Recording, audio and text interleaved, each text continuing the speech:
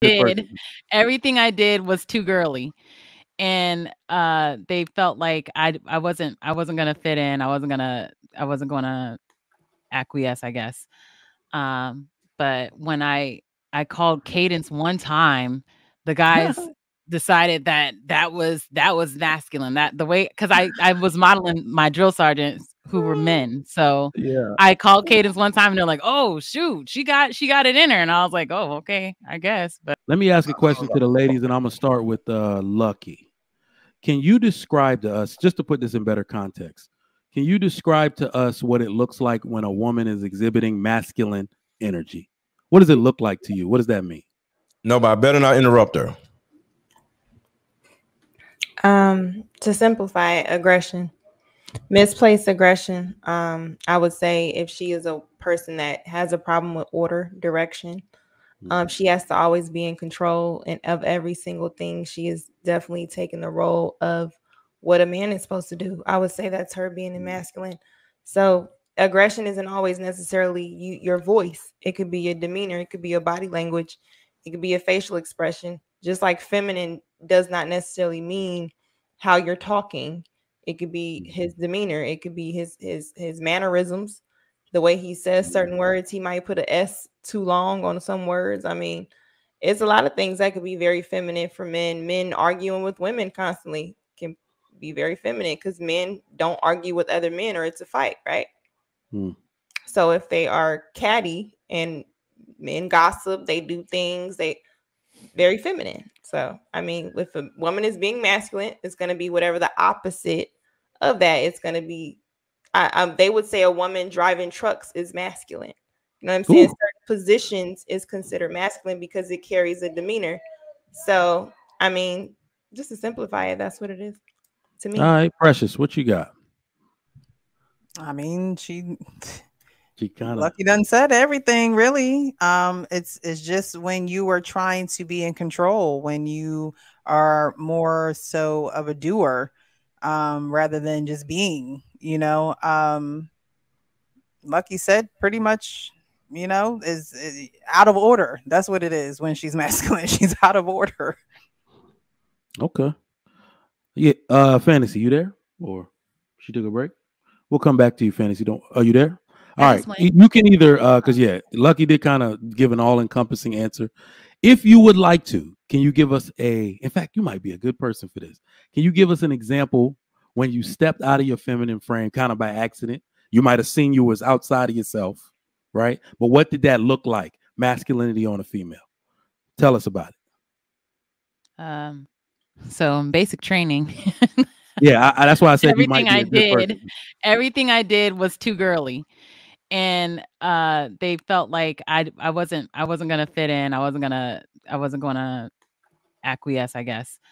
Um, but when I I called Cadence one time, the guys decided that that was that was masculine. That the way because I I was modeling my drill sergeants who were men. So yeah, I called Cadence one time and they're like, "Oh shoot, she got she got it in her," and I was like, "Oh okay, I guess." But I don't know. That was the big moment that I saw that a bunch of men actually told me, "Oh, that was masculine."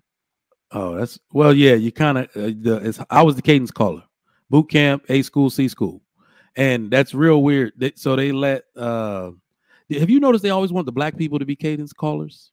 Yes, because we own they don't have no damn rhythm. and it's sad. I don't want to run to your to your lack of rhythm. It doesn't work for me. I already don't want to run.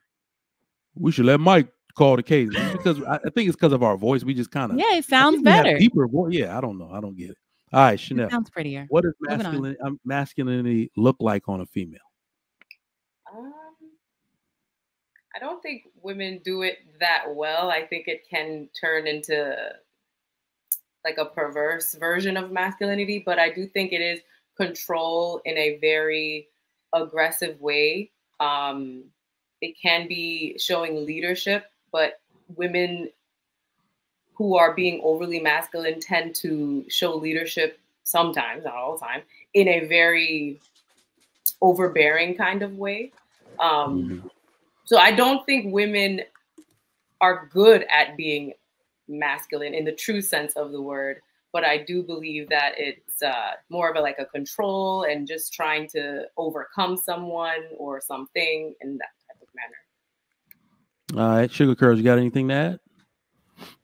Yeah, that's an interesting question. Um, initially, I thought that a woman could show more masculinity, um, not just to a man, but to other women as well. We have to look at that point because in this case, she may be rude, she may be disrespectful. Her tone, she doesn't have manners, constantly interrupting, constantly raising her voice, arguing.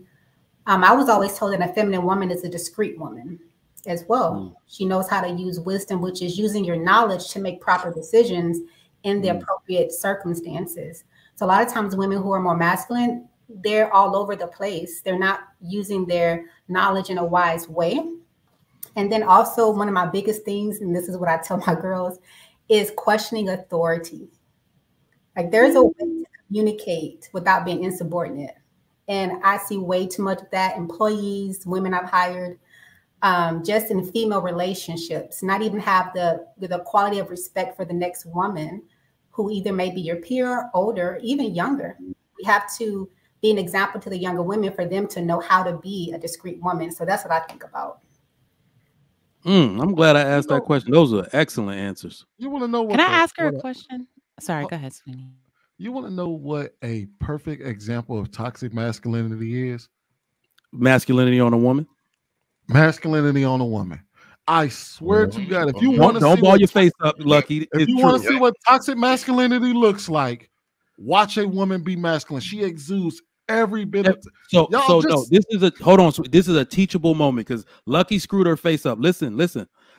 Um, one of the reasons women have such a problem in leadership positions at work is because they try to lead with masculine energy. They try to lead with too much authority. When women are in high level productivity positions, they need to lead with grace.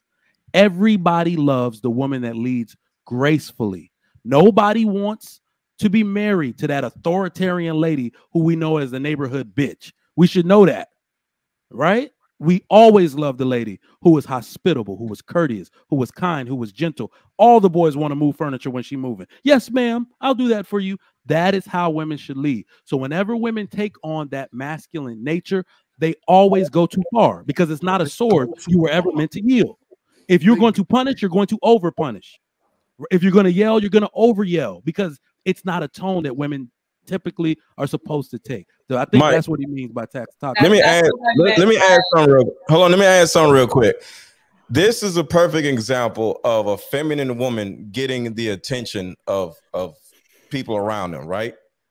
Lucky just had a look on her face. Lucky got them big old eyes, and she just had a look on her face, right? And it got everybody's attention. Like, uh oh, why is Lucky looking like that? That is really all a woman has to do. She ain't got to raise her voice. She oh, ain't got to get into her masculine. The, the, your favorite teacher, most likely for all of you, was feminine as hell. And she can walk oh, down the yeah. hall and be like, okay, guys, what are y'all doing? And you know why we all listen to that favorite teacher? Because we did not want to, what is the word, disappoint her. Yep. It's not about a loud, overbearing teacher or a loud, overbearing bearing woman. A woman can just sit back and just look at you like this and be like, next thing you know, you're like, damn, what I do to her? What's wrong with you? and then boom. That's what a feminine woman is supposed to do. A look on her face and a gesture. That's it. I like that one, Lex.